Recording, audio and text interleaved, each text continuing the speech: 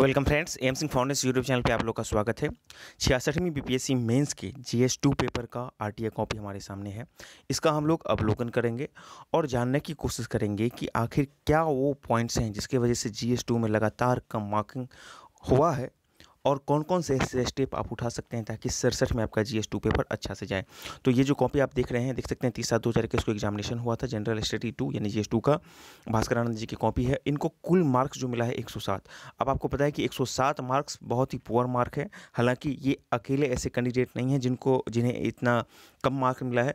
Ji S to में ऐसा ही है। एक सौ चार, पाँच से लेकर के एक सौ बीस तक के मैक्सिमम को समेट दिया गया है। टॉपर्स को ही एक सौ पचास, पचपन, साठ तक गया है, ठीक है ना? तिरसठवीं तक में जी एस टू के मार्किंग अच्छा होता था, उसके बाद चौंसठ पैंसठ छियासठ लगातार जी का मार्किंग कम होते चला गया। आइए पहले इसको हम लोग देख लेते हैं। इनका नंबर देख लीजिए। चौदह, सत्रह, सोलह छः नंबर है ना? फिर पंद्रह नंबर फिर पंद्रह नंबर फिर चौदह नंबर तो देख सकते हैं कि कितना एकदम बिलो मार्किंग है। सबका ऐसे ही है मोस्ट ऑफ़ द स्टूडेंट का, ठीक है ना जी में? तो पहला प्रश्न इनका क्या था? सेट एक में आपको पता है कि यहाँ पर भी आपको जो है, तीन तीन छः और दो, आठ प्रश्न का उत्तर देना होता है, तीन फ़र्स्ट सेक्शन से तीन द्वितीय सेक्शन से और दो जो होता है थर्ड सेक्शन से। तो पहला सेक्शन की बात यहाँ पे की जा रही है, जो कि पॉलिटी सेक्शन होता है। इन्होंने पहले प्रश्न का उत्तर दिया है। पहला प्रश्न था कि भारत के राष्ट्रपति की भूमिका परिवार के उस बुज़ुर्ग के समान है ठीक है ना? परिवार के उस बुज़ुर्ग के समान है जो सभी प्राधिकार रखता है। किंतु यदि घर के शैतान युवा सदस्य उसकी ना सुने तो वह कुछ भी प्रभावी नहीं कर सकता है, मूल्यांकन कीजिए। और कुछ इस तरह का ही सवाल चौंसठवीं में आया था, वहाँ पे राज्यपाल राज्यपाल एक कठपुतली है। तो देखिए जो जी एस टू होता है ना, उसका फ़र्स्ट पोर्शन स्टैटिक पोर्शन होता है, वो ऑलमोस्ट कवर रहता है, ठीक है ना? या तो मौलिक अधिकार, मौलिक कर्तव्य राज्य के राष्ट्रपति या राज्यपाल, ये अल्टरनेट पूछा जाता है तो इसको आप अच्छे से कर सकते हैं। और इस तरह के जो है ना, एक तरह से जो बोल सकते हैं कंट्राडिक्टरी प्रश्न है, ये अक्सर पूछा जाता है। तो आइए इसको देखते हैं। भारतीय संविधान के अनुच्छेद बावन के अनुसार भारत का एक राष्ट्रपति होगा, वह देश के संवैधानिक प्रमुख होता है, और भारत के राष्ट्रपति की तुलना ब्रिटेन के राजा से की जा सकती है। जिसे सभी प्रकार के प्राधिकार प्राप्त होते हैं, परंतु वह राष्ट्र के वास्तविक प्रमुख प्रधानमंत्री के अनुसार कार्य करता है। अब आइए कार्यपालिका की इन्होंने व्याख्या किया है राष्ट्रपति के बारे में। राष्ट्रपति की भूमिका, राष्ट्रपति की भूमिका विधायिका है, कार्यपालिका के रूप में सैन्य भूमिका है, वित्तीय भूमिका और न्यायिक भूमिका। एक इन्होंने छोटा सा डायग्राम यहाँ पे दे दिया है और फिर उसको इन्होंने सबको यहाँ पे इलोबरेट किया कि कार्यपालिका के रूप में क्या क्या है। तो राष्ट्रपति देश के संवैधानिक प्रमुख होते हैं वह प्रधानमंत्री तथा मंत्रिमंडल के सदस्यों की नियुक्ति करता है। उस तरह का कार्यपालिका प्रधान होने के नाते महान्यायवादी की भी नियुक्ति करता है। फिर संघ लोक सेवा आयोग की नियुक्ति करता है, वो नियंत्रक, व महिला का निरीक्षक का नियुक्ति करता है वह सभी राज्यों के राज्यपाल की नियुक्ति करता है। और फिर विधायिका की भूमिका में भी उन्होंने कहा है कि राष्ट्रपति संसद के को विघटन एवं सत्र का समापन कर सकता है। इस तरह से और जो भी चीज़ें हैं वह प्रधानमंत्री द्वारा किए जा रहे कार्यों का जानकारी प्राप्त कर सकता है। फिर वित्तीय भूमिका को यहाँ पर उन्होंने दर्शाया है कि राष्ट्रपति संसद में वार्षिक बजट पेश करने के लिए कहता है, राज्यों को अनुदान देने के संबंध में उसकी शक्ति होती है और आकस्मिकता निधि अब निधि देखो, निधि में इनको थोड़ा सा ये स्पेलिंग मिस्टेक था तो उनको घेर दिया गया है। वित्त के अनुसार निकाल सकता है वित्त को, आवश्यकता अनुसार निकाल सकता है। प्रत्येक पाँच वर्ष विधायक को नियुक्ति करता है। न्यायिक भूमिका के अंतर्गत राष्ट्रपति की जो भी शक्तियाँ हैं, सर्वोच्च न्यायालय के मतलब न्यायाधीश राज्य के उच्च न्यायालय के न्यायाधीश इत्यादि को नियुक्ति करना, उसके द्वारा न्यायिक दंड अथवा को सूक्ष्म अथवा लोक कर सकता है। सैन्य भूमिका भी है तीनों का प्रधान होता है। अब आइए इधर इन्होंने क्या लिखा है कि राष्ट्रपति के पास इन सब भूमिकाओं के अतिरिक्त स्वविवेक संबंधी शक्तियाँ भी होती है। ठीक है ना? ऑल टुगेदर मतलब जो राज्यपाल का स्थिति राज्य में होता है, वही राष्ट्रपति का जो होता है केंद्र में होता है, लेकिन राष्ट्रपति के पास क्षमादान की कुछ अतिरिक्त शक्तियाँ हैं, है ना? ये सब चीज़ें हैं यहाँ पे। देश के आपातकाल की स्थिति में प्रधानमंत्री के सलाह से जो है मशीनरी निर्णय ले सकता है। इसके अलावा फांसी की सज़ा को भी माफ़ करने का अधिकार राष्ट्रपति के पास है, ठीक है ना? तो देश में राष्ट्रपति की भूमिका सर्वोच्च मुखिया के समान होती है। अब वो, पहले तो उन्होंने राष्ट्रपति के बारे में बताया, अब जो सवाल पूछा जा रहा है कि मतलब कि युवा सदस्य शैतान है तो कुछ नहीं करता है तो उसका यहाँ पे उन्होंने बतलाने की कोशिश किया कि देश में राष्ट्रपति की भूमिका सर्वोच्च मुखिया के समान होती है, जो कि सभी को आदेश आदेशित कर सकता है। एक राष्ट्रपति को केवल संवैधानिक प्रमुख होने के नाते उसके उसको नगण्य नहीं जो है कहा जा सकता है। सभी तरह के फैसले उसकी सहमति की ज़रूरी होती है, ठीक है ना? बयालीसवें संविधान संशोधन के उन्नीस सौ छिहत्तर के पूर्व राष्ट्रपति को मंत्रिमंडल के आदेश को मानने पर मजबूर नहीं किया जा सकता था, अर्थात वह मंत्रिमंडल के फैसले को मानने के लिए बाद नहीं था, लेकिन बयालीसवें संविधान संशोधन के बाद उन्हें मंत्रिमंडल के फैसले मानने के लिए बाद होना पड़ा। परंतु चौवालीसवें संशोधन उन्नीस सौ अठहत्तर के अनुसार राष्ट्रपति द्वारा मंत्रिमंडल के फैसले को एक बार पुनर्वाच का, पुनर्विचार करने के लौटाए जाने का निर्णय लिया गया, ठीक है? तो ये सब जो फैक्ट है, इन्होंने ऐड किया है। इस तरह से देखा जाए तो राष्ट्रपति देश का एक बुज़ुर्ग होने के साथ साथ एक राष्ट्र प्रमुख भी होता है। इसमें उसकी भूमिका को कम नहीं किया जा सकता है। रजनी कोठारी ने कहा है कि राष्ट्रपति भले ही किंग नहीं होता है, लेकिन उसके पास भी शक्ति होती है। तो थोड़ा सा ये कंक्लूजन को और बेहतर ढंग से लिख सकते थे, ठीक है ना? बैलेंस बना करके लिख सकते थे और इस बात की पुष्टि वो करते कि हाँ किन किन कंडीशन में उन्होंने बयालीसवां संविधान संशोधन और चौवालीसवां संविधान संशोधन का ज़िक्र किया है, वो अच्छा एक स्टेप है। इसके अतिरिक्त वो और कुछ भूमिका का वो ज़िक्र करते जहाँ पर बताते कि नहीं जो मतलब कि ये जो बिल्कुल एक तरह से मंत्रिमंडल के फैसले के आगे ये नतमस्तक होते हैं या मानने के लिए बाध्य होते हैं, साथ साथ उनकी भी कुछ और शक्तियों था उसको पैरल करते तो और ये बेहतर हो सकता था, ठीक है ना? लेकिन कुल मिला एक ठीक ठाक है, लेकिन ऑब्वियसली इसमें नंबर ही बहुत कम मिल रहा है। आइए दूसरा क्वेश्चन देख लेते हैं कि भारतीय संघीय ढांचा संवैधानिक रूप से केंद्र सरकार की ओर उन्मुख है व्याख्या कीजिए ठीक है ना? तो केंद्र संबंध से दूसरा सवाल है आपको। आ, तो भारत राज्यों का संघ है और किसी वेयर ने इसे अल्प संघीय सरकार कर दिया है जबकि आईवर जेनिंग्स के अनुसार भारत में एक संघीय व्यवस्था है जो केंद्र एवं राज्य को समान शक्ति प्रदान करती है। किसी भी भारतीय संघीय ढांचा का संवैधानिक रूप से केंद्र सरकार की ओर झुकाव होता है। अब संघीय ढांचा का इन्होंने यहाँ पर दिया है विधायी संबंध प्रशासनिक संबंध और विदेश संबंध। जो केंद्र संबंध है उस चीज़ का संघीय ढांचा का यहाँ पर उन्होंने बाकायदा अनुच्छेद का ज़िक्र किया है तो ये अच्छा है। इस तरह के होना चाहिए आपको भी। और फिर विधायी संबंध को उन्होंने एलोबरेट किया है कि दो सौ पैंतालीस से लेकर के दो सौ पचपन के अंतर्गत आता है। उसके बाद अनुच्छेद दो सौ अड़तालीस के अंतर्गत अवशिष्ट शक्ति के केंद्र के पास उन्नीस सौ उनचास के तहत जो है राष्ट्र सूची पर बना सकता है। अब विधायी संबंध में तीन मांगों को बांटा गया है। केंद्र सूची राष्ट्र सूची संवर्ती सूची, इन्होंने इसका ज़िक्र भी किया है। चलिए भी सही है। उसके बाद अनुच्छेद दो सौ बावन के तहत जो है दो या दो से अधिक विधानमंडल द्वारा निर्णयों के द्वारा संसद कानून बना सकता है। आदेश तिरपन के अंतर अंतर्गत अंतर्राष्ट्रीय समझौतों को लागू करने में केंद्र राज्य को कानून बना सकती है। तो ये सब अच्छी ही चीज़ है, ठीक है ना, जो अनुच्छेद का उन्होंने ज़िक्र किया है। फिर उन्होंने प्रशासकीय संबंध की यहाँ पे बात की है। तो प्रशासकीय संबंध में संविधान के भाग ग्यारह के अनुसार, दो से लेकर के यहाँ पे कट गया है। तक प्रशासनिक संबंध का वर्णन है, दो के अनुसार अंतर्राज्यीय परिषद का गठन है। उसके बाद आइए अखिल भारतीय सेवा की बात की जा रही है। अनुच्छेद तीन सौ बावन, तीन सौ छप्पन और तीन सौ साठ में आपातकाल है और राज्यों में केंद्रीय बलों की तैनाती की भी केंद्र की अहम भूमिका होती है। निर्वाचन आयोग का भी केंद्र के अनुसार राज्यों का चुनाव करवाया जाता है। वित्तीय संबंध की बात की जा रही है। भाग बारह के अनुसार दो सौ अड़सठ से दो सौ तिरानवे तक राज्य के वित्तीय संबंध का वर्णन है। तो छोटा मोटा जो आपका बेसिक चीज़ है, उसको तो आपको देना ही पड़ेगा, ठीक है ना? और फिर आपको परीक्षण करना पड़ेगा। तो ये चीज़ उन्होंने जो स्टेटिक्स पोर्सन है, वो तो अच्छा से जानकारी यहाँ पे दे रहे हैं। अब देखते हैं कि परीक्षण कितना कर रहे हैं। तो कराधान की शक्ति है, राज्यों का अनुदान देने की शक्ति है, केंद्र राज्य के बंटवारे की है, अनुच्छेद दो सौ अस्सी के तहत वित्त आयोग की बात यहाँ पे कर रहे हैं। केंद्र और राज्यों के बीच में शक्तियों के बंटवारा के केंद्र में पड़ताल भारी नज़र आता है। क्या केंद्र और राज्यों के बीच में शक्तियों के बंटवारे में केंद्र का पलरा भारी नज़र आता है, लेकिन ऐसा भी नहीं है कि राज्य का अस्तित्व नहीं है। राज्यों को राज्य सूची में संबंधित विषयों पर कानून बनाने का अधिकार है। इस तरह से देखा जाए तो केंद्र जो है, राज्यों को उपयुक्त प्रावधान किए गए हैं, जो कि उन्हें स्वतंत्रता प्रदान करती है। फिर भी केंद्र भारतीय संघीय ढांचा संवैधानिक रूप से केंद्र सरकार की ओर उन्मुख है। तो इनको सत्रह नंबर मिला है। सबसे ज़्यादा इनको इस पेपर में इसी में क्वेश्चन मिला है। तो कुल मिला के एक बैलेंस यहाँ पे उत्तर है। ठीक है ना? केंद्र की ओर ही। ऑब्वियसली थोड़ा सा इन्होंने राज्य को भी दिखलाया कि राज्य को भी पास भी सकती है, लेकिन ऑब्वियसली केंद्र के पास है तो ठीक ठाक है, एक कह सकते हैं इनको। आइए। उसके बाद तीसरा सवाल क्या था? तो तीसरा सवाल जो है आपको, ये सवाल है कि आपको देखिए, ये जो सेक्शन है, बहुत ही क्रूशियल सेक्शन है। आपको मात्र चार प्रश्न मिलेंगे और चार प्रश्न में से आपको तीन प्रश्न का उत्तर देना होता है। आप लोग सब ध्यान दीजिएगा, ये जो जी एस टू थोड़ा सा टफ इसलिए हो जाता है, जैसे कि आप जी एस वन की बात कीजिएगा तो जी एस वन के सेक्शन वन में सेक्शन वन में आपको छः प्रश्न देंगे और छः प्रश्न में से आपको तीन प्रश्न का उत्तर देना है तो आपके पास बहुत ज़्यादा स्वतंत्रता है ठीक है ना? सबसे ज़्यादा स्वतंत्रता आपको वहीं पर है आर्ट एंड कल्चर में है कि आपको छः प्रश्न में से क्या करना है छः प्रश्न में से आपको मात्र छः प्रश्न में से तीन प्रश्न का उत्तर देना है ठीक है ना? लेकिन यहाँ पे जब जी के सेक्शन वन में आते हैं तो आपको चार प्रश्न में से मात्र तीन प्रश्न का उत्तर देता है तो आपके पास स्कोप बहुत ही लिमिटेड हो जाते हैं तो यहाँ पर ध्यान रखने बाद इसलिए थोड़ा सा ये टफ भी हो जाता है ठीक है ना? तो देखिए अब तीसरा सवाल इन्होंने दिया है कि आ, भारतीय राज्यों के असमान विकास की कई सामाजिक, आर्थिक एवं राजनीतिक समस्याओं को जन्म दिया है। बिहार के विशेष संदर्भ में कथन का आलोचनात्मक विश्लेषण कीजिए। जब भी आप आंसर लिखें तो पहले तो बिहार का उसमें कुछ ना कुछ ऐड ज़रूर करें अंत में दो तीन लाइन का, ठीक है ना? तो आपके लिए थोड़ा सा यदि जो रिलेवेंट हो, अब इरिलेवेंट चीज़ मत ऐड कर दीजिए। जैसे आपने को, मैंने दिखाया था कि जीएस में एक क्वेश्चन का उन्होंने पूरा उत्तर दिया इरिलेवेंट देकर के उनको मात्र एक नंबर दिया।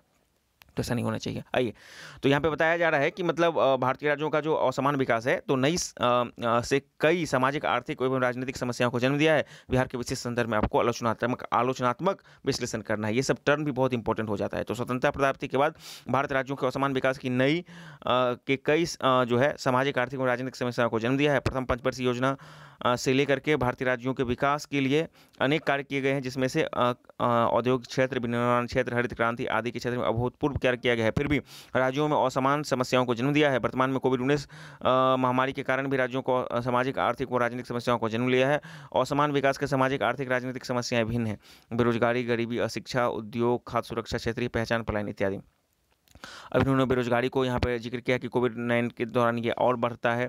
इसमें से सबसे अहम बेरोजगारी है। उद्योग धंधों के बंद होने के मजबूर तथा आर्थिक, श्रमिक अपने घर की ओर पलायन करने को मजबूर हुए गरीबी के बारे में ये बोल रहे हैं कि ऑक्सफेम की रिपोर्ट के अनुसार भारत में तीस से पैंतीस परसेंट गरीबी है। तो ये रिपोर्ट एक चीज़ अच्छा इन्होंने दर्शाया है।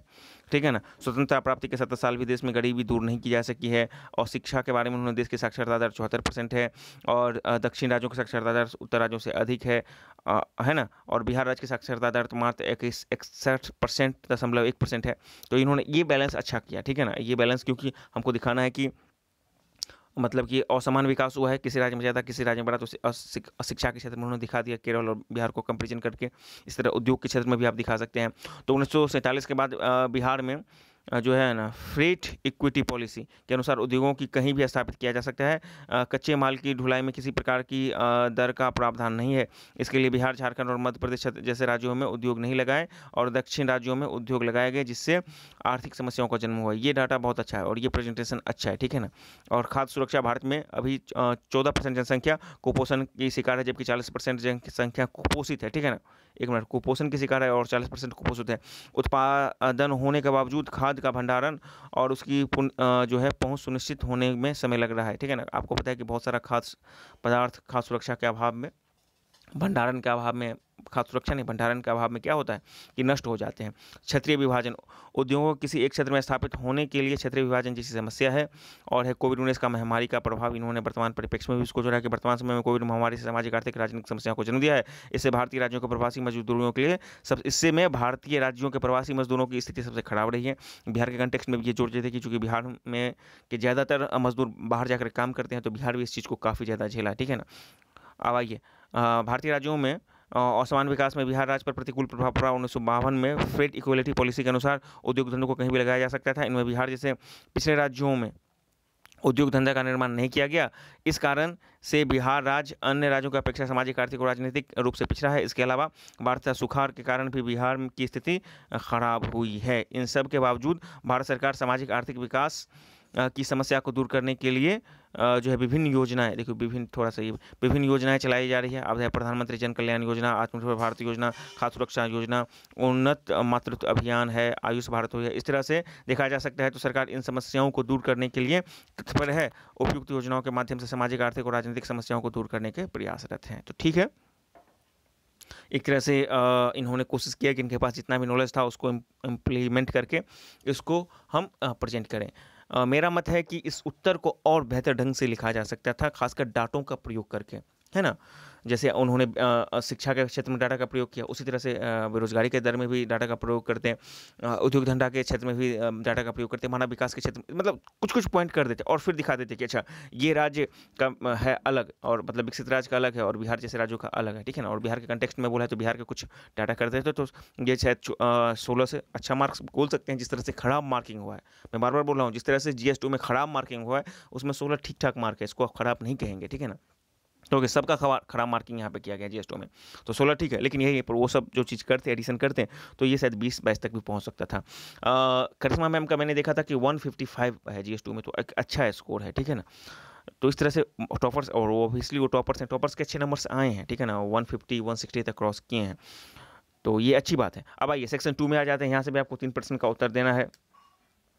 और यहाँ पर भी आपको जो है चार ही प्रश्न में से तीन प्रश्न देना है। तो देखिए, ये ये बहुत ही कंजेस्टेड है जीएस टू जो है बहुत कंजेस्टेड है, ठीक है ना? इसलिए जीएस टू टफ हो जाता है। अब बात को समझिए। अब आइए, इन्होंने जो है सबसे पहले क्वेश्चन नंबर पाँच का उत्तर दिया है बिहार सरकार के आर्थिक सर्वेक्षण। अच्छा यहाँ पर बोल रहा था कि बिहार सरकार के उन्नीस बीस आप हाँ यहाँ से भी आप क्वेश्चन देखिए कि आप पूछते हैं कि जो बिहार वाला सेक्शन है, भूगोल में, वो कहाँ पर पढ़ें आर्थिक भूगोल तो बिहार के कंटेक्स में आर्थिक भूगोल को पढ़िए, फिर भारत के कंटेक्स में आर्थिक भूगोल को पढ़िए करेंट से डाटा को जोड़ करके, ठीक है ना? तो आपका आसानी से निकल जाएगा, ठीक है ना? एक पोर्सन तो आपने देख लिया, जो सेक्शन वन है, वहाँ पर स्टेटिक्स डाटा वगैरह का ज़्यादा इस्तेमाल किया गया है पॉलिटिक्स सेक्शन में, और वहाँ पर भी पॉलिटिक्स सेक्शन को सीधे सवाल नहीं पूछे जा रहे हैं। वहाँ पर क्रिटिकल एनालिसिस आलोचनात्मक परीक्षण या इस तरह की कुछ चीज़ें कर देती हैं तो पहले तो आपके पास बेस जानकारी होना चाहिए। ये सब मैं बता रहा हूँ कि कैसे आपको इंप्रूव करना है आपके नंबर को जी में, ठीक है ना? तो आपके पास तो बेस जानकारी होना चाहिए। जिन, जो इस कॉपी में देखने को भरपूर मिला है, कोई डाउट नहीं है। अब उसके बाद थोड़ा सा एडिशन आपको करना है, तब आपको नंबर मिलेगा। जैसे सत्रह सोलह तक आया है थोड़ा सा और एडिशन आप कीजिएगा, लिखने का प्रैक्टिस कीजिएगा, कुछ डाटा को आप कलेक्ट कीजिएगा, उसको यहाँ पुट कीजिएगा, कुछ डायग्राम कुछ चार्ट्स का तो वो आपके सोलह से बीस बाईस तक जाएँगे। एक एक नंबर चुराना पड़ता है यहाँ पर संघर्ष के लिए, ठीक है ना? तो अच्छी बात है। अब आइए हम लोग देख लेते हैं। यहाँ पर क्वेश्चन था कि बिहार सरकार ने उन्नीस बीस के आर्थिक सर्वेक्षण में यह कहा कि गत तीन वर्षों में बिहार का विकास दर भारत के विकास दर से अधिक रही है। अर्थव्यवस्था के किन क्षेत्र सूत्रों ने इस प्रगति में योगदान दिया है, वर्णन कीजिए। देखिए, ठीक आर्थिक सर्वेक्षण के एक स्टेटमेंट को उठा लिए हैं और स्टेटमेंट को उठाने के बाद फिर आर्थिक सर्वेक्षण में ही सरकार के द्वारा जो डाटा पेश किया गया है, उसको यहाँ पे हु बहु पेश किया जा रहा है। उससे संबंधित सवाल पूछे जा रहे हैं। तो इस बार छियासठवीं सड़सठ के लिए भी जो तैयारी कर रहे हैं ना, वो भी बिहार के आर्थिक सर्वेक्षण को अपने तो पीटी के लिए एक अलग तरीका से पढ़ा। अब उसी को मेन्स में अपने आप को आंसर राइटिंग के फॉर्म में पढ़ना है। बिहार के बजट को, बिहार के आर्थिक सर्वेक्षण को, बिहार के भारत के बजट को, भारत के आर्थिक सर्वेक्षण को वहाँ से छोटा डाटा, लेकिन बिहार के बजट और आर्थिक सर्वेक्षण को अच्छे से देख लेना है। तो इन्होंने लिखा है कि बिहार सरकार ने आर्थिक सर्वेक्षण उन्नीस बीस के अनुसार बिहार का विकास दर पंद्रह लगभग पंद्रह प्रतिशत के आसपास है। लगभग पंद्रह फ़ीसदी, पंद्रह नहीं था, यहाँ पे आपको शायद ग्यारह या तेरह था, ठीक है ना? तो ये डिफरेंस भी थोड़ा सा ज़्यादा कर दिए, लेकिन अच्छी बात है कि याद नहीं तो लगभग इन्होंने पंद्रह लगा दी है तो अच्छी बात है, जो कि भारत के विकास दर नौ दस परसेंट से कहीं ज़्यादा है, ठीक है ना? तो इसको देख लेना है आपको। अब आइए, अर्थव्यवस्था के निम्न क्षेत्रों में बिहार ने प्रगति किया। अब सीधे यहाँ पे आ जाते हैं। किसी क्षेत्र में टेक्सटाइल क्षेत्र में पर्यटन, शिक्षा, खाद्य प्रसंस्करण, डेयरी, ऊर्जा क्षेत्र में और इलेक्ट्रॉनिक क्षेत्र में। अब कृषि क्षेत्र में उन्होंने क्या क्या किया है? तो बिहार सरकार के अनुसार सीधे पूछ रहे हैं ना कि कहाँ कहाँ प्रगति किया है? तो सवाल तो एक तरह से स्ट्रेट है। यानी जो उन्होंने आर्थिक सर्वेक्षण को अच्छे से पढ़ा होगा, उनके लिए तो बहुत स्ट्रेट है सवाल है।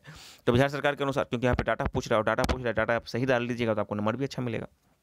तो इसका एक पॉजिटिव पॉइंट ये है, ठीक है ना?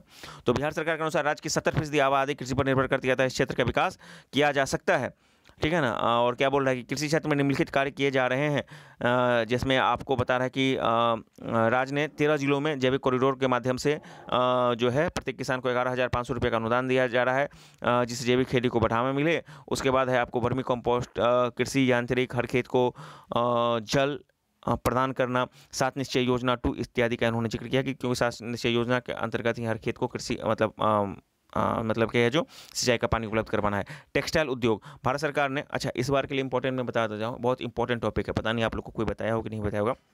बिहार सरकार ने इस बार लगाया है टेक्स, चर्म उद्योग और टेक्सटाइल नीति, ठीक है ना? इसको आप अच्छे से पढ़ लीजिएगा, जितने भी सड़सठवीं के मेंस के कैंडिडेट हैं। बिहार सरकार का इसी हाल ही में आया है मई, जून के आसपास आया था टेक्सटाइल और चर्म उद्योग चर्म उद्योग और टेक्सटाइल नीति, ठीक है ना, बिहार का? उसको आप अच्छे से पढ़ लीजिएगा मेन्स के फॉर्मेट में डाटा बना लीजिएगा, आपको पूछे जा सकते हैं वहाँ से। और नहीं भी पूछे जाएँगे तो उसको उपयोग करने के लिए आपको विभिन्न प्रश्नों में आ जाएगा। ठीक है ना? एक डाटा तो हम लोग डायरेक्ट इस्तेमाल कर लेते हैं प्रश्न के रूप में, जैसे आर्थिक सर्वेक्षण के पूछ लिया। कुछ डाटा ऐसा होगा जहाँ पर आर्थिक सर्वेक्षण नहीं पूछा, लेकिन उसके डाटा को हम बाय एक मतलब कि साइट्स के रूप में इस्तेमाल करते हैं। तो दोनों के लिए आपको इंपॉर्टेंट है। आप पढ़ लीजिएगा वेरी वेरी इंपॉर्टेंट है। वो कौन है? बिहार का टेक्सटाइल नीति और चर्म उद्योग नीति जो 2022 आया था। टेक्सटाइल उद्योग, भारत सरकार ने पीएलआई योजना के अंतर्गत पूरे देश में सात टेक्सटाइल उद्योग लगाए जा रही हैं, जिसमें एक बिहार में भी स्थापित किया जा रहा है। पर्यटन के क्षेत्र में बिहार ने विकास किया है। बिहार राज्य का उत्तरी दक्षिणी में वाल्मीकि वन जीव अभ्यारण्य, कैमूर के अलावा कोलत काकरगढ़, ये सब जो इसका बोध गया, पटना इत्यादि का इन्होंने ज़िक्र किया है। आर्थिक सर्वेक्षण उन्नीस के अनुसार विदेशी पर्यटकों की संख्या जो है तीन लाख से ज़्यादा रही है। शिक्षा के क्षेत्र में इन्होंने नालंदा विश्वविद्यालय राज्य में कई विश्वविद्यालयों का निर्माण के सहित कई विश्वविद्यालयों का निर्माण तेज़ी से हो रहा है जिसमें जो है क्या है आ, योजना में रोज़गार विकास उपलब्ध है ये क्या लिखे आत्मनिर्भर हाँ आत्मनिर्भर क्षेत्र में रोज़गार के विषय उत्पन्न हो रहे हैं। तो थोड़ा सा आपको स्पष्ट भी क्लियर रखना है जो आप शब्द लिखिएगा ना बहुत ज़रूरी है कि आप खूब सजा सजा लिखिए लेकिन ना दो शब्दों के बीच में इनकी दूरी पर्याप्त है ये भी आप थोड़ा सा ध्यान दीजिएगा ताकि आपको स्पष्ट हो रहा है। और आप जब तभी बहुत फास्ट से लिखते रहते हैं तो कुछ कुछ शब्द टकरा जाते हैं। तो बस आपको थोड़ा सा फास्ट है दो शब्दों के बीच में दूरी अच्छी है, ताकि सामने वाला पढ़ ले, यही काफ़ी है आपके लिए। बहुत बाकी चीज़ नहीं मैंने कर दी है। खगड़िया का तिहार उसके बाद है आपको डेहरी में खाद्य प्रसंस्करण उद्योग लगाए जाने की तैयारी है, जबकि मोतिहारी में आलू के जो है चिप्स बनाने की फैक्ट्री स्थापित की जा चुकी है। मखाना आदि चीज़ों के संबंधित उद्योग भी तेज़ी से बढ़ रहे हैं। अब डेयरी के क्षेत्र में इन्होंने भारत में दूध उत्पादन के मामले में बिहार जो है जो है ये क्या लिखे हैं, पाँचवें स्थान पर है। डेयरी के क्षेत्र में उद्योग धंधा स्थापित कर इसका लक्ष्य नंबर वन पर आना है। पूरे देश में, और राज्य में लगभग अस्सी लोग जो है पशु संबंधित लघु उद्योग से जुड़े हुए हैं। इसे तकनीकी रूप से सक्षम करना है। ये सब आप, इन्होंने ज़िक्र किया है। ऊर्जा के क्षेत्र में दरभंगा के नीचे जो है, दरभंगा में नीचे मछली, ऊपर बिजली तैयार। अच्छा ये जो आप पढ़े थे यहाँ पर पहला जो सोलर किया गया है पानी में तैरता हुआ तो ये नीचे ऊपर नीचे मछली, ऊपर बिजली। जो इसका उन्होंने ज़िक्र किया अच्छा है। और उसके बाद फ्लोटिंग सोलर पावर का विचार किया जा रहा है। नवीकरणीय ऊर्जा के क्षेत्र में सूर्य आधारित ऊर्जा पर हम ध्यान दिया जा रहा है। और बिहार में पहले ही जो है अपेक्षा विकास काफ़ी तेज़ी से हुआ है। इलेक्ट्रॉनिक क्षेत्र में छोटे छोटे पार्ट्स पुर्जे का भी निर्माण बिहार के आसपास क्षेत्रों में किया जा रहा है। फतुआ बाढ़ मुकाम आदि के क्षेत्र को उन्होंने ज़िक्र किया, ये भी अच्छा है। कोविड उन्नीस महामारी के दौरान भी विकास दर को बरकरार रखा है। इससे यह पता चलता है कि बिहार अपने लक्ष्य के प्रति कितना सजग है। अब देखिए, आप बोलिएगा छः नंबर दिया है, चलिए ठीक है, इनका रिमार्क हम पढ़ लेते हैं। एक minute. Sectors and then contributions ये लिखे हैं सेक्टर्स एंड देन कंट्रीब्यूशंस ये इन्होंने एक रिमार्क लिखा है, एक छः दिया है, ठीक है ना?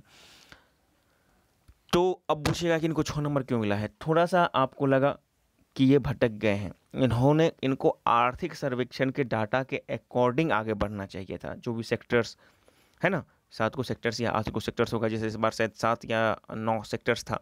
उसका क्या क्या है, ठीक है ना? आपने एडिटोरिया वाला जो बिहार पढ़ा होगा करंट के लिए, उसमें बहुत अच्छे से दिया गया था। तो उस डाटा को भी कोई लिख दे तो बहुत अच्छा हो जाएगा। ये इस बार की बात कर रहे हैं। तो वो चीज़ का यहाँ पे इस पर अभाव था। क्योंकि आपको जब आर्थिक सर्वेक्षण की बात करते हैं तो उसके ही डाटा को आपको लिखना है। अपने मन से बहुत ज़्यादा ज़ोर फोड़ नहीं सकते हैं, ठीक है ना? तो इसीलिए इनको कम नंबर मिला, मात्र छः नंबर देकर के इनको हटा दिया गया है। तो ऐसे सा प्रश्नों के उत्तर के देने में आपको सावधानी बरतना है कि नहीं, आपको गोल मोल करिएगा तो फिर इस तरह की चीज़ें होंगी। आप अच्छे से तैयारी करके जाइए तो आपके लिए अच्छा रहेगा। आइए, अब आ जाते हैं क्वेश्चन नंबर छः क्वेश्चन नंबर छः था कि बिहार में व्याप्त आर्थिक व सामाजिक विषमताओं का मुख्य कारण क्या है? सरकार द्वारा इन असमानताओं को कम करने के लिए उठाए गए कदमों का आलोचनात्मक मूल्यांकन करना है। ठीक है ना? यहाँ पे आलोचनात्मक आलोचनात्मक मूल्यांकन करना है आपको। तो यहाँ पे देख लीजिए कि बिहार राज्य प्रारंभ से ही पिछड़ापन का शिकार रहा है। इसमें किसी एक की भूमिका का वर्णन कर सकते हैं। इसमें से किसी एक आ, की भूमिका थोड़ा सा यहाँ पर कट रहा है कि वर्णन कर सकते हैं ठीक है ना? आइए यहाँ पे दक्षिण बिहार और उत्तर बिहार यहाँ बाढ़ प्रभावित किया दक्षिण देखिए क्वेश्चन क्या था? बिहार में व्याप्त आर्थिक और सामाजिक विषमताओं का मुख्य कारण क्या है? सरकार द्वारा इन असमानताओं को आर्थिक और सामाजिक विषमता चलिए ठीक है, इन्होंने बिहार का एक मैप दिखाया और बताया कि एक सूखा प्रभावित है, एक जो है आपको वर्षा प्रभावित है, इन्होंने ज़िक्र कर दिया। अब चाहिए बिहार सरकार की रिपोर्ट के अनुसार बिहार में कुल अठाईस ज़िले बाढ़ से प्रभावित हैं और इन बाढ़ और सुरक्षा के कारण बिहार को आर्थिक एवं सामाजिक विषमता झेलना पड़ता है। बिल्कुल सही बात है, क्योंकि मिशनरी तीन महीना तक बाढ़ के जो है निपटान में ही लगा रहता है, फिर बाढ़ आने के बाद उसके राहत बचाव कार्य में तो ऑब्वियसली से तो आर्थिक विषमता बढ़ती है। अब यहाँ पे इन्होंने एक चार्ट दिया है आर्थिक विषमता के कारण गरीबी कोविड उन्नीस बाढ़, सूखा तथा आपदा, राजनीतिक जागरूकता की कमी, उद्योग धंधों का आवास, रोज़गार और शिक्षा जनसंख्या, ठीक है ना? ये भी उन्होंने लिखा है। अब कोविड उन्नीस महामारी के दौरान जो है राज्यों के साथ साथ बिहार में भी प्रभावित किया है। बिहार राज्य में इसके लोगों की जाने गई हैं, हज़ारों लोगों की बाढ़ सुखाड़ के कारण बिहार राज्य के सभी प्रभावित होते हुए मतलब इन्होंने लिखा है जनसंख्या को, फिर उन्होंने डील किया है। राष्ट्रीय राजनीति, राष्ट्रीय जागरूकता की कमी, स्वतंत्रता के पहले बिहार जो है, झारखंड का, बिहार, झारखंड एक दूसरे का हिस्सा थे 2000 में। झारखंड के अलावा के पश्चात अलगाव के पश्चात उद्योग धंधे झारखंड में चले गए और बिहार पिछड़ेपन का शिकार हो गया। राजनीतिक जागरूकता की कमी के कारण उद्योग धंधे बिहार में जो है, विकास नहीं हो सके। और रोज़गार की बात कर रहे हैं, सरकार द्वारा असमानता को दूर करने का ज़िक्र किया है तो हमको लगता है कि असमानता को और अच्छे से डिफाइन किया जा सकता था। और आपको प्रत्येक सवाल में सॉल्यूशन भी देना है, ठीक है ना? और बीच बचाव का पूरा सरकार का आप आलोचना नहीं कर सकते हैं, ठीक है ना? एक आपका स्टैंड लेना पड़ता है तो थोड़ा सा असमानता को और वो बेहतर ढंग से इसको दर्शा सकते थे। अब उस सरकार द्वारा उपाय युवा उद्यमी योजना सात निश्चय योजना कुशल, युवा प्रोग्राम, पशुपालन के लिए अनुदान, ये सब इन्होंने ज़िक्र किया है। आगे देख लीजिए महिलाओं के लिए जो आपको स्नातक से इतना तक आना है तो वो जो है कन्या उत्थान योजना, वो सब है। स्नातक पास युवाओं को पच्चीस साल तक का पच्चीस साल तक जो प्रति महीना जो एक हज़ार रुपये का जो आपको है अनुदान है, वो है विधवा पेंशन योजना इस सब का इन्होंने ज़िक्र किया है, कन्या उत्थान योजना। इस सब के बावजूद राज्य के प्रशासनिक अधिकारियों द्वारा राजनीतिक इच्छा शक्ति कमी के कारण इन योजनाओं को धरातल पर क्रियान्वयन नहीं हो पाता है, इसलिए सरकार को चाहिए कि इन योजनाओं को ससमय पर जाँच की जाए जिससे लाभार्थियों को इसका लाभ पहुँच सके। उपयुक्त उठाए गए कदमों में आईसीडीएम, एमडीएम तथा राशन सुरक्षा प्रदान करके राज्य गरीबों पर ध्यान केंद्रित कर रहा है, जिसमें कि सामाजिक व आर्थिक विकास हो सके। तो यहाँ पे इनको तेरह नंबर मिला है एवरेज नंबर मिला है, ठीक है ना? आइए, अगला देख लेते हैं। अब जो हम लोग जा रहे हैं, वो जा रहे हैं क्वेश्चन नंबर आठ पे। यहाँ पे था मानव विकास का मापन कैसे किया जा सकता है? मानव विकास कार्यसूची को प्राप्त करने के लिए बिहार सरकार के साथ प्रतिबद्धताएँ क्या हैं? इन लक्ष्य को प्राप्त करने के सीधे देखिए, सात निश्चय योजना। आप यहाँ पे देखिए सेक्शन टू में सिर्फ़ बिहार बिहार बिहार से ही सवाल है। तो एक तरह से आपके लिए आसान भी हो जाएगा ना? अब बिहार का भूगोल या बिहार का आर्थिक भूगोल तो सिर्फ़ बिहार। अच्छी बात है। आप सिर्फ़ बिहार को पढ़िए, अच्छे से पीजिए, बहुत ज़्यादा इधर उधर नहीं भटकना है। कम पढ़िए, लेकिन उसको अच्छे से पढ़िए ताकि आ जाए तो उसको हम कहीं यूज़ कर सकें। और यदि वो क्वेश्चन नहीं भी आया तो हमारे पास उसके डाटा यदि फैक्ट्स हैं तो उसको हम बना करके भी क्वेश्चन में यूज़ कर सकें। ठीक है ना? ये एक इंपॉर्टेंट चीज़ है। तो क्वेश्चन था कि मानव विकास का मापन कैसे किया जाता है? मानव विकास कार्य सूची प्राप्त करने के लिए बिहार सरकार के साथ निश्चय पड़ता है। क्या है? इन लक्ष्यों को प्राप्त करने के सरकार की योजनाओं को समझाए। तो यहाँ पे है, मानव विकास का मापन तीन तरीकों से किया जाता है। शिक्षा, जीवन, प्रत्याशा और प्रति व्यक्ति आय मानव विकास जो है, विश्व बैंक द्वारा जारी किया जाता है सूची। इसमें बिहार सरकार के साथ निश्चय यानी कि प्रतिबद्धताएँ भी प्रमुख है। और इन्होंने बताया कि मानव विकास के कौन कौन जीवन, आधार है? जीवन, प्रत्याशा शिक्षा प्रति व्यक्ति आय, ये है। और जीवन, प्रत्याशा का इन्होंने दिया है, एक फार्मूला दिया है कि किस तरह से होता है। इसमें मानव जीवन में अनुमान जीवन प्रत्याशा द्वारा बात किया जाता है, क्योंकि पहला प्रश्न यह था कि मानव विकास का मापन कैसे किया जाता है? तो ठीक है, इनको, इन्होंने सही ढंग से आगे बढ़ाया है, फिर शिक्षा का भी माप किया है, इन्होंने दिया है तो ये चीज़ अच्छी बात है। जहाँ ई एजुकेशन इंडेक्स है और फिर प्रति व्यक्ति आय के बारे में भी यहाँ पर इन्होंने बताया है। तो चलो ठीक है, मानव विकास का माप का इन्होंने तीन आधार को एक्सप्लेन किया है जो कि अच्छा पहल है यहाँ पे। मानव विकास सूचकांक भारत की रैंकिंग पूरे विश्व में एक में से एक सौ रही उस समय का था। और बिहार सरकार द्वारा मानव विकास सूची को प्राप्त करने के लिए सात जो है प्रतिबद्धताएँ की गई हैं, सात निश्चय तो गरीबी, जनसंख्या, प्रति व्यक्ति आय, शिक्षा, उद्योग धंधे, रोज़गार, भुखमरी, ठीक है ना? क्या था कि बिहार सरकार द्वारा सात प्रतिबद्धताएँ हैं। मानव विकास कार्यसूची को प्राप्त करने के लिए बिहार सरकार की सात प्रतिबद्धताएँ वही सात प्रतिबद्धता है। यहाँ पे इन्होंने ज़िक्र किया है तो ये भी बहुत अच्छी बात है ठीक है ना? आइए बिल्कुल परफेक्ट जा रहा है यहाँ पे। अब देख लेते हैं आप आ, वैश्विक पॉवर्टी रिपोर्ट के अनुसार बिहार में थोड़ा सा वैश्विक शब्द का ही इस्तेमाल यहाँ पर गलत है। चालीस परसेंट लोग गरीबी रेखा हुई जनसंख्या के बिहार में वृद्धि मामले में बिहार वृद्धि और राज्यों से काफ़ी ज़्यादा है। दो हज़ार इक्कीस से दो हज़ार ग्यारह की जनसंख्या के दर जो है पच्चीस दशमलव ज़ीरो पाँच मतलब दस की वृद्धि का ज़िक्र किया है। उन्होंने आइए और फिर क्या कहा है कि बिहार के प्रति व्यक्ति या दूसरे राज्यों की अपेक्षा अत्यंत कम है। प्रति व्यक्ति आय जबकि साक्षरता दर बहुत कम है। रोज़गार मामले में बिहार उद्योग धंधे का पर्याप्त अभाव है और यहाँ पे वो बोल रहे हैं कि इसके लिए पलायन होता है और ब्रेटलैंड्स की रिपोर्ट के अनुसार भारत की भुखमरी 107 में से चौरानवे स्थान पर है और राज्य में भुखमरी की समस्या भी ज़्यादा है। भारत का भी कर रहे हैं और बिहार का भी कर रहे हैं। मानव विकास की कार्यसूची का प्राप्त करने के लिए बिहार सरकार के सात प्रतिबद्धताओं को प्राप्त करने के लिए सात निश्चय सात प्रतिबद्ध, देखिए प्रतिबद्धता इन्होंने दर्शा दिया और फिर उसके लिए सात निश्चय तो ये अच्छा है। ये कम्बिनेशन बढ़िया है यहाँ पर ठीक है ना? तो बिहार सरकार की योजनाएँ हैं, स्थानीय स्तर पर महिलाओं को 50 परसेंट रोज़गार, युवाओं को उद्योग लगाने के लिए दस लाख तक का लोन मुर्गी पालन, पशुपालन सात निश्चय कार्यक्रम को लगाना और है आपको जो है विधवाओं को, श्रमिकों को पेंशन देना। अब यहाँ पे उपयुक्त योजनाओं के माध्यम से बिहार सरकार मानव विकास के कार्य सूची को प्राप्त करने के लिए प्रतिबद्ध है सूची को प्रतिबद्धता बनाए रखते हुए देश के आर्थिक विकास में जो है, भी सहयोग कर रहा है। देखिए, पंद्रह नंबर मिला है। अब यहाँ पे ये इन्होंने क्या लिखा है? कि कंटिन्यू टू एक मिनट, देख लेते हैं।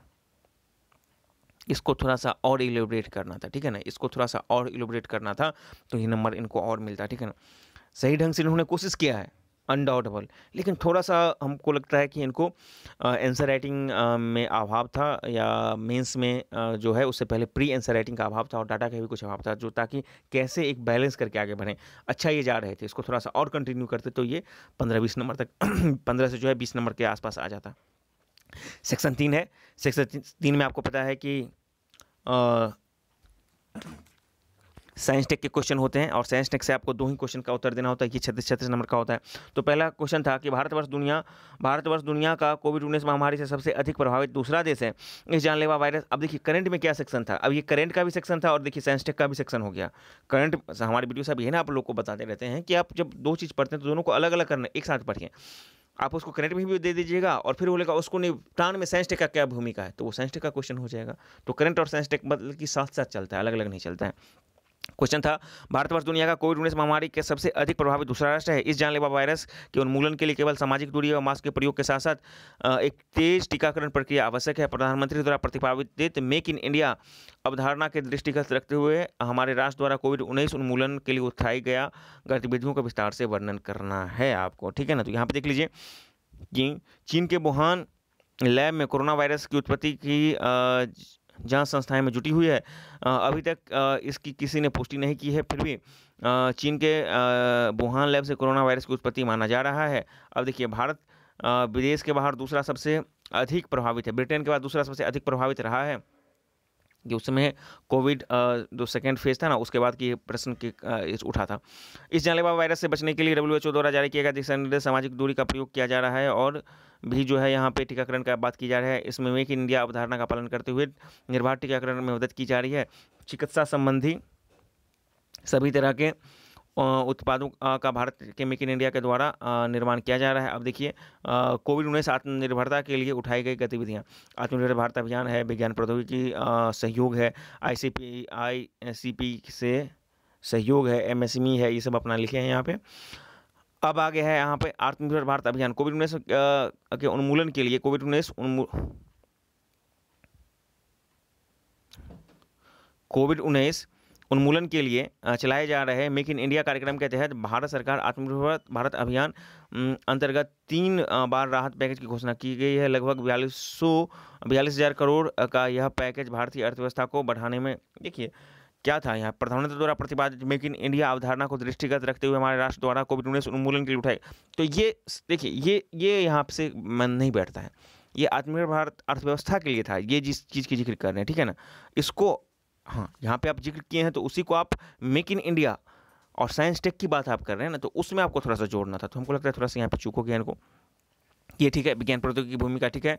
आर्टिफिशियल इंटेलिजेंस द्वारा रोबोट टेक्निक से कोविड उन्नीस के लिए टीका का निर्माण किया जा रहा है ये सही है आपको। अब देखिए आरसीपी भारत अभी हाल ही में व्यापार घाटा बढ़ने के कारण आरसीपी से बाहर हो गया है, इससे शामिल होने के भारत के मेक इन इंडिया योजना का प्रभाव पड़ता है। देखिए, ये सवाल फिर थोड़ा सा इरिलेवेंट हो जाता है, क्योंकि आपको सवाल का जवाब के अकॉर्डिंग चलना है। एमएससी सरकार द्वारा, अब एम में लिखें बिल्कुल सही बात है, लेकिन एम में लिखते ना कि एमएसएमई के द्वारा भी साइंस टेक का इस्तेमाल किया जा रहा है मेक इन इंडिया में, और वो, उसका प्रभाव कोविड जैसे कि आपको आइए देख लेते हैं। जैसे कि आपको क्या था कि महिलाएँ जो है आ, मास्क बना रही थी तो उसका भी था। उसके बाद और जो छोटी छोटी चीज़ें हैं वो सब है है ठीक है तो भारत सरकार तो एमएसएमई संगठन को बढ़ावा दिया जा रहा है। हाल ही में परिभाषा बदला गया है एमएसएमई का और रोज़गार देखिए ये भी थोड़ा सा हमको इरिलेवेंट लगा ठीक है ना? लग बताते हैं ना आपकी एमएसएमई के दौरान मतलब कि आत्मनिर्भर भारत के दौरान उनको प्रोत्साहन दिया गया फिर उन्होंने जो है मास्क का वितरण बहुत जगह पे किया रसोई का वितरण किया उन्होंने। मतलब इस तरह से आप बता सकते हैं और छोटे छोटे चीज़ लो यदि एमएसएमई के तहत जो है छोटा छोटा किट का वितरण किया गया था ठीक है ना? आ, मतलब जाँच किट का निर्माण किया गया था बड़े पैमाने पर उससे लाभ हुआ। इस तरह की चीज़ों को आप कीजिए तो ये चीज़ें आपको ज़्यादा फ़ायदे होगा। क्योंकि आपको अल्टीमेटली एमएसएमई को जोड़ना है कि उसमें आत्मनिर्भर भारत अभियान के तहत क्या क्या काम हुआ, जो कि आपको कोविड उन्नीस के रोकथाम में या उसको नियंत्रित करने में मदद मिला। तो आप लिख सकते हैं ना, शायद कोई ऑक्सीजन कंटेनर बैठाया होगा, या किसी ने जो है किट का निर्माण किया होगा एमएसएमई के तहत, या फिर किसी ने मास्क का बड़े पैमाने पर किया होगा। तो ये सब चीज़ें आपको ऐड करनी थी। तो इससे आपका नंबर बढ़ता है ठीक है? ये सब आपको भी ध्यान रखना है। अब आइए पीएलआई योजना। आत्मनिर्भर भारत अभियान के अंतर्गत पीएलआई योजना को बढ़ावा दिया जा रहा है। इसके अंतर्गत सरकार द्वारा तेरह क्षेत्रों के उत्पादन बढ़ावा दिया इसमें शामिल मास्क, सैनिटाइजर ये सब ठीक है। ग्लव हाइड्रोजन वैक्सीन, ये सब ठीक है। ठीक है ना? और कोविड उन्नीस उन्मूलन के लिए जो है उसकी कई गतिविधियों के माध्यम से भारत दुनिया का फार्मा बनता जा रहा है। वैश्विक बाज़ार में भारत की मध्यम बढ़ेगी। चीन तथा पाकिस्तान जैसे पड़ोसी देशों की तुलना में अर्थव्यवस्था में वृद्धि होगी। वैश्विक संबंध मज़बूत होंगे। अब देखिए, उपयुक्त गतिविधियों से बिहार में सफलतापूर्वक निर्माण से भारत के मेक इन इंडिया, अवधारणा कोविड उन्नीस उन्मूलन से प्राप्त कर पाँच ट्रिलियन अर्थव्यवस्था बनने का है। तो चलिए यहाँ पे उनको चौदह नंबर मिला गया है। लेकिन वही है, ये यहाँ पे कंफ्यूज थे पूरे उत्तर के दौरान कि हमको अर्थव्यवस्था पर जाना है कि कोविड मतलब ये थोड़ा सा कंफ्यूज कर गए, शायद सवाल के समझ नहीं पाए थे, ठीक है ना? बाकी इन्होंने जो डाटा दिया है कुल मिलाकर बेहतर है, लेकिन इससे और बेहतर किया जा सकता था, जो जो चीज़ मैंने आपको बताया कि आपको भूलना नहीं है हमको, कि हमको आखिर में उत्तर क्या देना है। तो बीच बीच में जब आप एग्जामिनेशन में आंसर राइटिंग कर रहे हैं ना तो ध्यान दीजिएगा एक दो बार पढ़ करके, जब एक पोर्शन लिख रहे हैं तो फिर पढ़िएगा कि क्वेश्चन क्या मांग रहा है। वो डिमांड के अकॉर्डिंग आप पढ़िएगा थोड़ा सा कम भी लिखिएगा, आपको नंबर खूब मिलेगा, ये याद रखिएगा। क्वेश्चन के डिमांड से भटकिएगा तो कितना भी लिख दीजिए, कोई फ़र्क नहीं पड़ने वाला है। वही एवरेज की श्रेणी में आप आ जाइएगा। आइए, उसके बाद था बिहार अब ये था आपको कि फ्लड की बात की जा रही है बारह ठीक है ना? विगत कई वर्षों से बाद एवं सूखे की स्थिति बिहार राज्य के उन्नयन एवं समृद्धि में लगातार प्रभावित किया है। इस प्रकार दुर्घटना संबंध में विज्ञान और अभिनियंत्रण की भूमिका का विशिष्ट उदाहरण के साथ विवेचना कीजिए। चलिए, मैं यहाँ पे थोड़ा सा बात बता देता हूँ कि मेरा जी में एक सौ छब्बीस नंबर मिला है इस बार। चौंसठवीं में मेरा एक नंबर था। इस बार एक सौ छब्बीस नंबर मिलने का एक ये भी रीजन है कि ये जो बारहवा प्रश्न है ना, उसको मुझे आंसर देने के लिए मात्र अंतिमा पेज बचा था, छत्तीसवां पेज बचा था। और मात्र दो से तीन मिनट में मैंने कुछ कुछ लिखा था। उसको यदि मैं प्रॉपर वे में तीन, साढ़े तीन पेज चार पेज में लिखता और सब डाटा का प्रयोग करता, क्योंकि मेरे पास समय भी नहीं था, क्योंकि उस दिन हमको दस मिनट लेट से हमारे पूरे रूम में क्वेश्चन मिला था, बहुत सारी चीज़ें हुई थी उस दिन। तो एक ये भी रीजन था, नहीं तो हमको लगता है एक सौ छत्तीस चौबीस छब्बीस तो नहीं रहता, एक सौ तीस, बत्तीस, तैंतीस तक तो निश्चित रूप से चला जाता मेरा स्कोर इस बार भी। हालाँकि मेरा जब आर टी कॉपी आएगा तो मैं भी आपको दिखलाऊँगा। तो आइए, इन्होंने, क्योंकि बाढ़ और सुखाड़ तो एक परमानेंट क्वेश्चन है जो आपको पूछेगा ही पूछेगा तो एक तरह से ये भी आपका फिक्सिंग हो गया ना बिहार के कंटेक्स में। तो बिहार राज्य की भौगोलिक सीमाएँ एक तरफ़ बाढ़, दूसरी तरफ़ सूखा से प्रभावित है उधर बिहार में कोसी, महानंदा, गंडक जैसी नदियाँ हैं विकराल रूप धारण करती है तो दक्षिण बिहार में आपको सालों भर पानी नहीं रहने की समस्या रहती है। इसके साल बिहार हमेशा बाढ़ से प्रभावित रहता है और बाढ़ और सूखा की स्थिति यहाँ पे बता रहे हैं कि जिसको दूर किया जा सकता है। वज्र प्रहार ऐप है आर्टिफिशियल इंटेलिजेंस है जीपीएस है नैनो टेक्नोलॉजी है, और रोवर्स रोबोट का ड्रोन है, उपयोग इस सब का, यह बाढ़ और सुखाड़ से मतलब कि निपटान के लिए आप इन साइंस टेक्नोलॉजी का प्रयोग कर सकते हैं। आर्टिफिशियल इंटेलिजेंस को यहाँ पर उन्होंने किया है कि एआई के माध्यम से दुनिया का मतलब है कि बाढ़ की दुर्घटना का पता लगाने में सहायता हो सकता है और जो है ड्रोन की मदद से आपदा प्रभावित क्षेत्रों में राहत कार्य को आसान बनाया जा सकता है। और आइए नैनो टेक्नोलॉजी का बात किया जाए तो नैनो टेक्नोलॉजी के माध्यम से खेतों को पानी को माप को कंट्रोल किया जा सकता है, जिससे सूखे के प्रभावित क्षेत्रों को कृषि के जो है के लिए कृषि के योग बनाया जा सकता है। मतलब सुखाड़ वाले क्षेत्र में आप नैनो टेक्नोलॉजी की बात की जा रही है, ये भी अच्छा इन्होंने लिखा है। रोबोट का उपयोग रोबोट का उपयोग के राहत बचाव कार्य के लिए आसानी से किया जा सकता है सॉफ्टवेयर के माध्यम से नियंत्रित किया जा सकता है। वज्र प्रहार ऐप जो बिहार का है, जो मतलब कि जो बिजली जिसको बोलते हैं, ठंड का गिरने से आपको पैंतालीस मिनट पहले आपको आ जाता है। जीपीएस के माध्यम से बिहार सरकार द्वारा हाल ही में बाढ़ का पूर्वानुमान लगाने के लिए एक जीपीएस आधारित तकनीक का क्रियान्वयन किया है। जो है पिछले वर्ष पटना में आए भयंकर शहरी बाढ़ ने इस जीपीएस के प्रयोग सफलतापूर्वक किया था और इसके द्वारा शहर में बाढ़ प्रभावित जो क्षेत्रों को पहचान किया, वहाँ पर शीघ्र सहायता पहुँचाई गई थी। बिहार का लगभग छः जिला बाढ़ से प्रभावित है। बाढ़ सूखा के अलावा बिहार, नेपाल के साथ सीमा साझा करने के साथ भूकंपीय जोन में भी आता है तो इसको उन्होंने लिखा है। ये भी आपदा प्रबंधन है भूकंप का थोड़ा सा यहाँ पे जोड़ दे दिया है। ठीक है ना? इधर सब है, ये बाढ़ प्रभावित और सूखा मतलब ये जो सात जिला है और इधर जो जिला है, वो यहाँ पे आपको दर्शा दिया गया है। और विज्ञान एवं अभियंत्रिकी के नवीन प्रबंधन के माध्यम से बाढ़ एवं सुखम भूखा, बाढ़, भूकंप सूखा जैसी समस्याओं को दूर किया जा सकता है तो बारह नंबर इनको मिला है।